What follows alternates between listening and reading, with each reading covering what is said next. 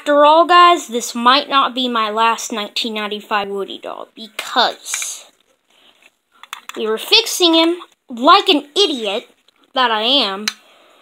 I decided because the string got stuck. So what I did, I was positioning the voice box in the right way, and then I got it to finally loosen up, and it pulled. But then, like a dummy, I held it by the wire on there, and now we tried to fix the wire, and the stupid thing keeps overheating. And we keep, he keeps cutting the wire. He keeps working his butt off, and Woody doesn't give two not two darns about it. He doesn't give no darns at all. He doesn't care at all. This toy does not care.